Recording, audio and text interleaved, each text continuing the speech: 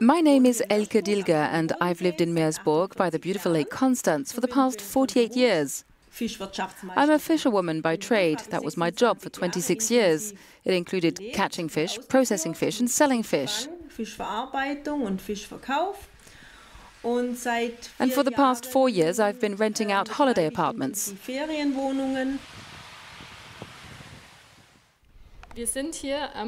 Right now, we're on the shores of Lake Constance. Why is this lake so special for the region? We live in paradise here. There are many paradises on earth, but I always say that Lake Constance really is a special one. It's a very beautiful region with a beautiful landscape. The lake provides us with fresh drinking water and it's also a source of food for the people who live here.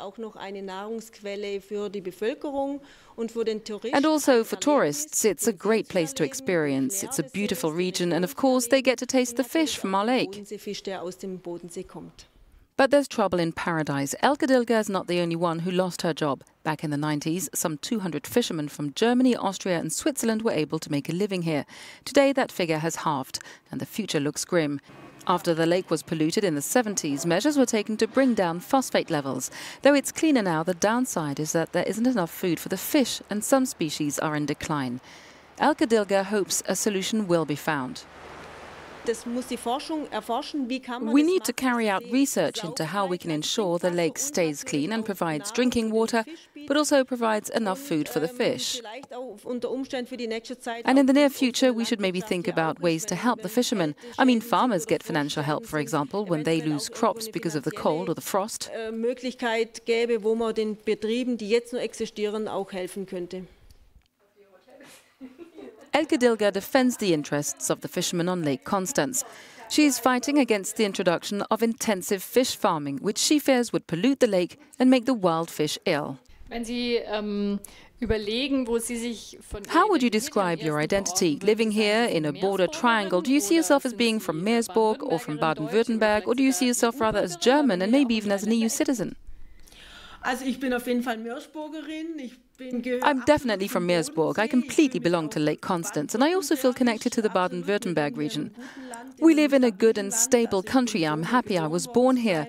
I also feel German, and the EU has many advantages, like international cooperation, for example. So there are many advantages, but there are also difficulties in many areas.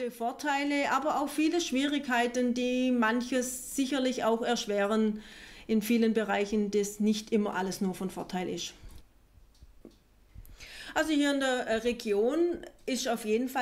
Here in the region, agriculture is very important.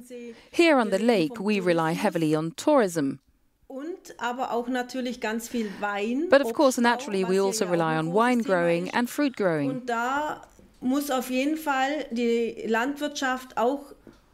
What is for sure is that people working in the farming sector deserve more help and more respect.